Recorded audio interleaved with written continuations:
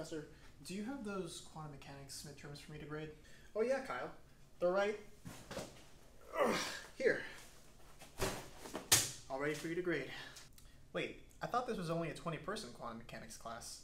Oh yeah, I teach 10 other classes, but none of them have an assigned TA, so you're going to have to grade for those classes as well. You serious?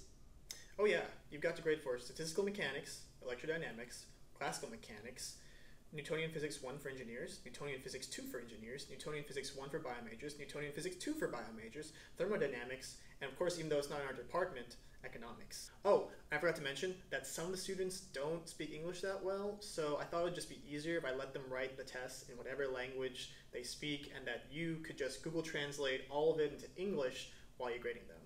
And I think that's it. Uh, any questions? Wait, Oh, you look at the time. I'm so late to my faculty meeting, but I know you'll do a great job with this, Kyle. So just get all these back to me on my desk by tomorrow, same time? Okay, see you later. I don't understand why I got a 0 out of 10 on this part. Well, I gave you a 0 out of 10 because the problem said to derive the nth state of the harmonic oscillator with ladder operators, and you just drew a ladder with the text, ladders are cool. Right, but can't you sort of see how I was on the right track? Ah, forget it. I'll just bring it to the professor to review. Okay, fine. Just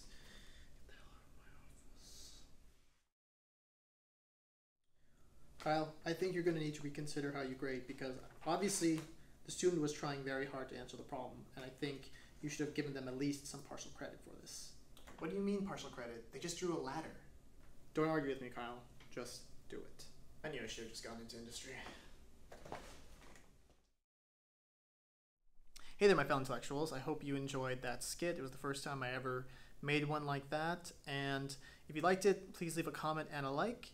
And I will hopefully come out with more in the near future. See you next time.